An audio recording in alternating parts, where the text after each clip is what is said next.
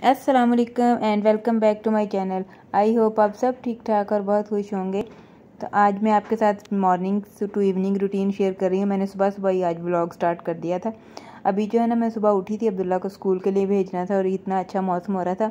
मौसम तो खैर इतना अच्छा नहीं था, लेकिन आसमान पर बादल जो है ना, वो बहुत अच्छे आए हुए थे। देख बहुत अच्छा लग रहा था। तो अब्दुल्ला जो है ना, वो खुद ही रेडी हो जाता है। मैंने इसको कहा, एक दिन के सिक्स क्लास में हो गए और अब, अभी जो ना आपको रिस्पॉन्सिबल होना चाहिए तो अब रात को अपना यूनिफॉर्म वगैरह खुद ही प्रेस करके और रेडी करके रख लेता है। और सुबह जो है ना, पहले इसके, इसको नाश्ता पास बैठ के करवाना पड़ता होता था। ये मतलब सुबह से उठ के ना खाने को दिल नहीं करता था, लेकिन अब जो है, वो खुद ही खा लेता है। और उसके बाद रेडी होके ना तो फिर नीचे चला जाता है। अभी मैंने कहा, नीचे मैं भी तुम्हारे साथ चली जाती हूँ, उसका बैग वजनी था। मैंने कहा, मैं उठा के ले जाती हूँ। पहले भी जो है ना वो लंबा सा और सूखा सा था और अब भी बुखार के बाद और ज़्यादा कमज़ोर हो गया और आज वैसे भी जो है ना स्पोर्ट्स का यूनिफॉर्म पहना हुआ है तो स्पोर्ट्स में टी शर्ट पहनी होती है, उसमें और ही कमज़ोर लगता है। कोई कोई बच्चे वैसे अपने ख़ानदान पे होते हैं, इसके दादा बू जो है ना वही भी लंबे से और सूखे से थे। अल्लाह उनको जन्नत नसीब करे और उसके मामू वगैरह भी बहुत ज़्यादा मोटे नहीं हैं। बस हमारे फैमिली में जो है ना वो इतना ज़्यादा जो है ना वो मोटे मोटे लोग नहीं हैं। मेंस जो है स्पेशली। तो उसके बाद मैंने अपना नाश्ता बनाया पानी जो है ना वो ख़त्म हुआ हुआ था तो मैंने कहा, मैं चलो थोड़ा सा पानी बॉयल कर लेती हूँ, बाद में फिर ले आएँगे। और चाय बना रही थी और ये प्लेट जो है ना मेरे से गिर के टूट गई।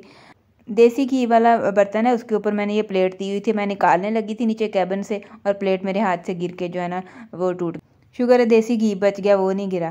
तो अभी जो है ना, नाश्ते के बाद मैं हेल्पर आजकल फिर नहीं आ रही, उसको भी बुखार हुआ हुआ तो तीन चार दिन कल कह रही थी शायद मैं बाजी छुट्टियाँ करूँ अभी। तो मैं लॉन्ड्री के लिए मैंने ऊपर कपड़े डाले हुए थे और मुझे इसका याद ही भूल गया कि मैंने इसको डाला और अभी घंटे, दो घंटे बाद आके इसको निकाला है। कई दफ़ा ऐसे होता है कि मशीन में अगर ज़्यादा देर कपड़े पड़े रहे ना तो स्मेल कर जाते हैं।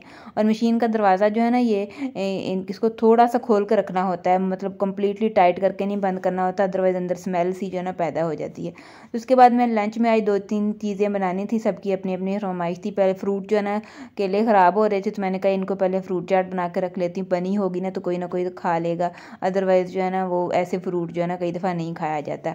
तो फ्रूट चाट के लिए जो है ना, उसमें मैं ज़्यादा कोई ख़ास चीज़ें नहीं डालती। उसमें मैं थोड़ा सा नमक डालूँगी। चाट मसाला थोड़ा सा डालूँगी। चाट मसाला अगर आपने नमक नहीं डालना ना तो आप बेशक ना डालिएगा। मैं थोड़ा सा चाट मसाला कम डालती हूँ, ज़्यादा स्पाइसी नहीं बना रही ना, इसलिए थोड़ा सा सॉल्ट भी ऐड किया है। शुगर इसके साथ ऐड की है और थोड़ी सी ब्लैक पेपर ऐड करनी है। बस यही तीन चार चीज़ें हैं। वैसे टैंक नहीं है अभी मेरे पास इस वक्त, लेकिन अगर कई दफ़ा ऐसे होता है कि मैं शुगर जो है ना शुगर नहीं ऐड करती, उसमें टैंक थोड़ा सा ऐड कर देती हूँ तो उससे भी ज़्यादा अच्छा टेस्ट बन जाता है। इसके बाद मैंने जो है ना वो सालन भी बनाना है और पुलाव भी बनाना है। चावल जो है ना, वो हमारे घर में रोज़ एक दफ़ा तो बनते हैं, क्योंकि अब्दुल्ला की दादो जो है ना, वो ज़्यादा उनको दो टाइम खा, रोटी नहीं दे सकते, उनको स्टमक का इशू हो जाता है। सिर्फ़ मॉर्निंग में उनको ब्रेकफास्ट में मैं चपाती देती हूँ एक और बाद में दो टाइम राइस देने होते हैं। और आजकल तो जो है ना, अब्दुल्ला भी राइस शौक से खा लेता है और मेरे हस्बैंड जो है, उनको भी हल्का हल्का बुखार हो रहा है तो उनको भी रोटी कह रहे थे कि मैंने नहीं खानी राइस बना लेना। तो अभी मैं, ये लहसन जो है ना, ये देसी होता है और एक चाइनीज़ होता है। जो चाइनीज़ है ना, वो तो छीलना आसान होता है, लेकिन जो देसी होता है ना, वो छीला जाता तो उसको मैं थोड़ा सा ना अवन में दस सेकंड के लिए गर्म कर लेती हूँ और उससे थोड़ा सॉफ्ट हो जाता है और फिर वो आसानी से छिल जाता है। या फिर अगर आप पानी में भिगो के रख दोगे ना, तब भी थोड़ा सॉफ्ट हो जाएगा और छिल जाएगा। पुलाव जो है वो मैंने रेडी कर लिया था, अब इसको दम पे रखा है और और ये जो लिड में छोटा सा सुराख होता है ना, इसमें आप कोई चीज़ लगा दोगे तो ठीक है अदरवाइज़ सारी स्टीम जो है ना यहाँ से बाहर निकलना शुरू हो जाती है। और इस टाइम जो है ना, दोपहर के टाइम जब मैं लंच बना रही होती हूँ तो कई दफ़ा लाइट ऑफ़ हो जाती है और अभी सालन बना रही थी ना तो लाइट ऑफ़ हो गई है।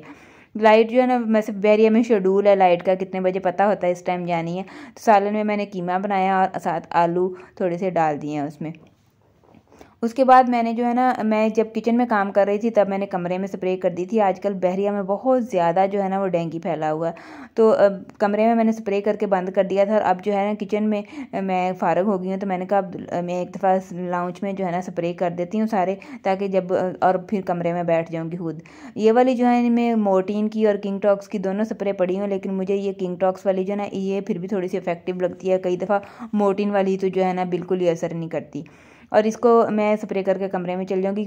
जो सोफ़े हैं उनकी साइडों पे नीचे वगैरह मच्छर छुप के बैठा होता है और जो है ना वो ज़रूर स्प्रे करनी चाहिए एक दफ़ा। और लेकिन ये स्प्रे करके ना आप वहाँ पे ना बैठो क्योंकि ये जो होती है ना ये लंग्स के लिए और लीवर के लिए ना डेंजरस होती हैं। आप जब इसको सांस के ज़रिए आप इनटेक करते हो ना तो ये डेंजरस होती हैं। अब्दुल्ला स्कूल से आ गया था, लंच वगैरह करने के बाद ना शाम को जब मैं चार बजे उसको पढ़ाती हूँ, चार से छः बजे, मैं उसको खुद ही होमवर्क वगैरह करवाती हूँ। वैसे तो बड़ी क्लास में हो गया है तो वो ना कर लेता है, लेकिन फिर भी उस वक्त मैं उसके पास बैठ जाती हूँ और साथ अपना कोई काम कर लेती हूँ। तो मैंने कल जो है ना ट्राउज़र की वीडियो अपलोड की थी तबीन स्टिचिंग पे, और उस वक्त उसका मैंने एक साइड का जो पाँचा था ना वो रेडी कर लिया था, और दूसरा जो है ना वो मैंने अभी रेडी करने वाला था, वो मैंने एक रेडी करके ना शूट करके वीडियो अपलोड कर दी थी। अब दूसरा जो है वो मैंने कहा, अभी मैं साथ रेडी कर लेती हूँ। और उसके लिए मैंने पट्टियाँ वगैरह बना के रखी हुई हैं। इनके साथ मैंने डिज़ाइनिंग करनी है, मैंने एक दो सूट ऑनलाइन मंगवाए हैं और एक मैं अपना स्टिच कर रही हूँ। आजकल मुझे ना टाइम नहीं मिल रहा स्टिचिंग का तो इसलिए जो है ना मेरा लेट हो गया तभी इन लाइफ स्टाइल पर वीडियो लेकिन फिर भी मैं कोशिश करूँगी कि जल्दी अपलोड करूँ। तो अभी शाम हो गई थी, अब्दुल्ला की कुछ बुक्स मिल गई थी और कुछ जो है ना वो नहीं मिली थी। बुक्स का बड़ा इशू हो रहा है स्कूल में, जब से स्कूल ओपन हुए ना तो किसी कोई कोई सब्जेक्ट अभी साइंस की बुक नहीं मिली और मैथ की जो है ना वो भी नहीं थी। मैथ की अब मिल गई है, आज मैं बुक्स लेने ही जा रहे थे। तो मैथ की तो मिल गई थी, लेकिन अभी साइंस की नहीं मिली।